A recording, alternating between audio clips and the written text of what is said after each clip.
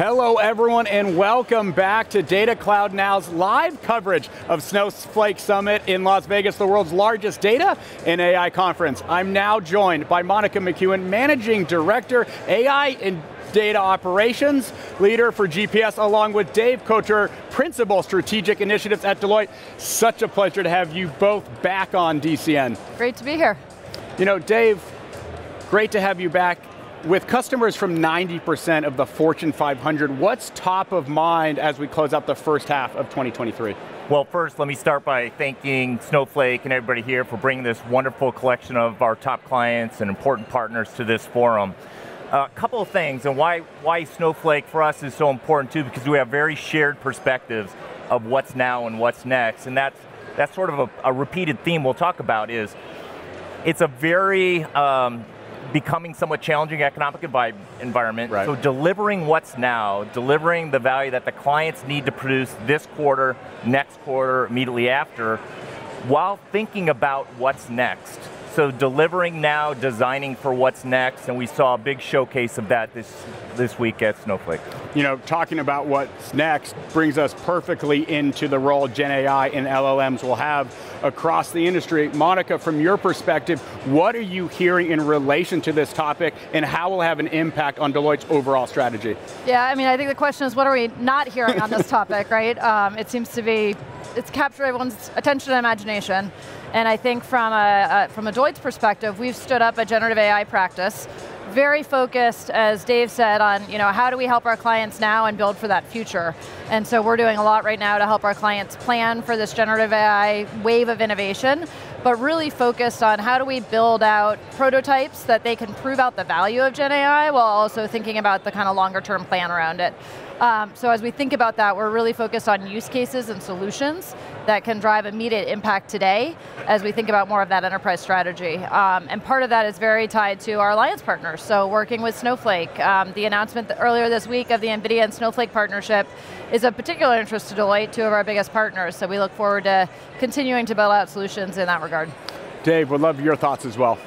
Well, just to add to that, it's going to impact the underlying advancements in technologies that are coming into fruition with generative AI and advanced AI simulations and the like, is going to impact every industry sector, every function, and what Monica talked about is then the pacing of how does this unleash. But what's also important with those advanced technologies, they're only as good as the underlying data sovereignty that elicits trust with the customers and stakeholders, and data interoperability, which really institutionalized value across the, the chain. So those two fundamental elements are the core of Snowflake, but also the enablers of where the Gen AI is going to take it.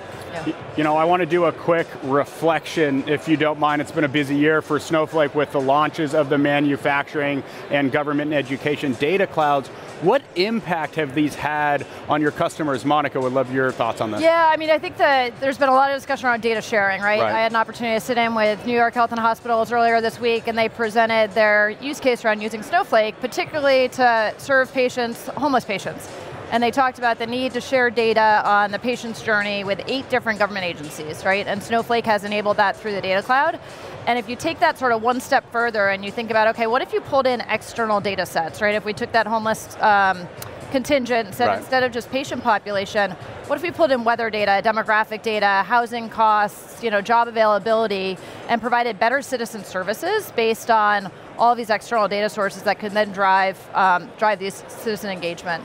So I think there's just an incredible opportunity there with the launch of the government cloud. Um, you know, you think about ExxonMobil talked this right. week about their use of the data marketplace and the fact that they're pulling in all of these external data which have allowed them to optimize their supply chain simply by having real-time access to weather data in their Snowflake data cloud environment and thinking about that at like the DoD level, Department of Defense, and the logistics and supply chains that they run, some of the largest in the world, if they could optimize their supply chain even just a little bit by having this real-time access through the data marketplace, there's just a tremendous opportunity. So super excited to see where the marketplace is going to go from a government perspective. And then I think the last angle on that is there's so many government data sets that can be made publicly available. And right. today those are really hard to access. And so the marketplace is really going to unlock a lot of the government data that private sector can take advantage of as well.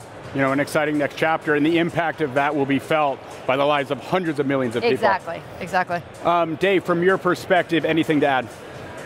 Well, the underlying notions of what uh, Monica talked about is really the accelerant to time to value. Right. So going from general utility platforms and technologies to fit for purpose technologies that can be implemented faster, that can get to the outcomes at the time that the client wants the outcomes. Yeah you know, great to have your reflection on, on, the past year with these launches of these data clouds. Now I want to look towards the future. For both of you, what will you be primarily focused on over the coming months? And for the audience watching, what advice would you like to give them and what can they be doing now to be successful into the future? Dave.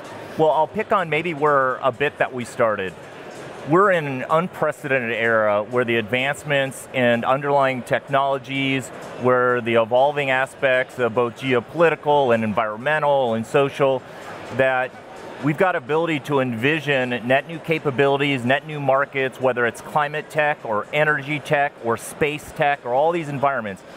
All of them are going to be data independent, they're all going to be interoperable independent, and so I think all companies need to be thinking about those go forward domains while they're delivering against what they have today. So we, we try to maintain a balanced focus on the set of capabilities we need today, but we need to plant footholds and positionings into where we know the technologies are going to lead the markets, and vice versa relative to that. And Monica, from your perspective, as you look out, what's top of mind for you? Yeah, I mean, I think I work primarily with our government clients, right. and uh, I mentioned in the beginning, you know, generative AI is all the buzz, and everyone's excited about it. And so, as we look to building out generative AI prototypes and proof of concepts, one of the biggest focus areas is on the data, right? right? Frank and Jensen, when they had their conversation earlier this week, said, you know, data is a lifeblood of AI and ML. And so in the government market, we're really focused on how do we make sure that the data is in a platform like Snowflake that can take advantage of the data cloud and the scalability that exists there, and then take advantage of all those technologies on top of it. Um, you know, not all data is fit for AI, and right. so how do you make sure you've got the data governance and the security through Snowflake, and then all of the data quality that's required to take advantage of this just you know, incredible time we're in with the advancement of AI and AI technologies. Well, looking forward to seeing how it plays out in the coming months. Always a pleasure having Deloitte on Data Cloud Now. Thank you so much for joining me. Yep. Thanks, Ryan. Thanks, good to be here. And for the audience watching, I'm Ryan Green with Data Cloud Now. We'll see you soon.